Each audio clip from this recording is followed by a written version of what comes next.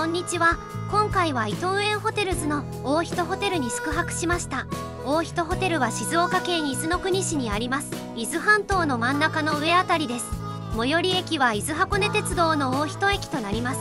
大人駅から大人ホテルまでの送迎バスがあります。14時頃から30分ごとに出ているようです。ホテルの入り口です。ホテルは赤レンガのような外観です。フロントからロビーの状況です。昔のホテル風ですが広くて綺麗です。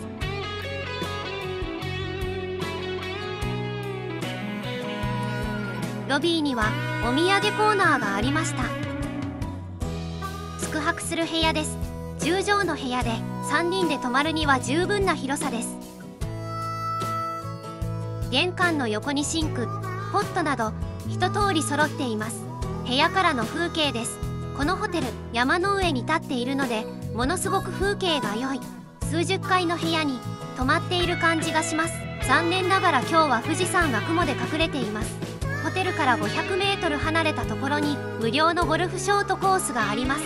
グリーンはほぼ整備されていません。無料なので文句は言いません。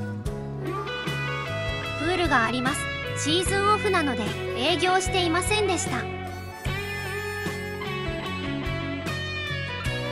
さて温泉に入ります。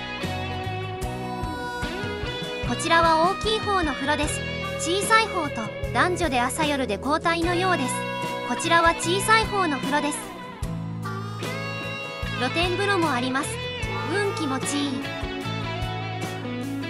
お風呂の後は夕食です。なんといっても伊藤園ホテルズは食べ放題で。お酒ビールも飲み放題。このホテルではスパークリングワインも飲み放題でした。料理を持ってきました。種類も多くあり安っぽくありません。会場は広く余裕があります。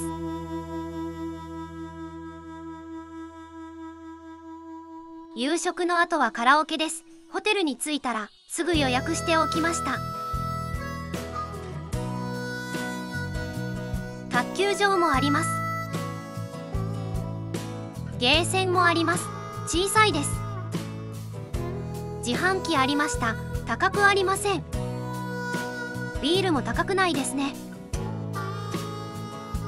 この大人ホテル現役時代の長嶋茂雄氏が自主トレしてたようです。長嶋さんの懐かしい写真が多く展示されています。長嶋さんのファンはぜひとも宿泊することをおすすめします。朝です。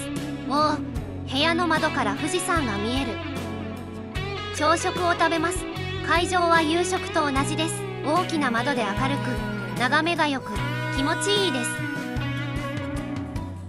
ホテルの周りに庭園があるので散歩します。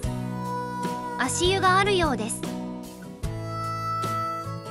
足湯は休止中でした。営業していれば足湯しながら綺麗な風景が見れるのですね。庭園の中には離れの部屋があるようです。風景が良いので羨ましい。いかがだったでしょうか？とても風景が良い。気持ちが良いホテルでした。この動画がこれから宿泊される人の一助になれば幸いです。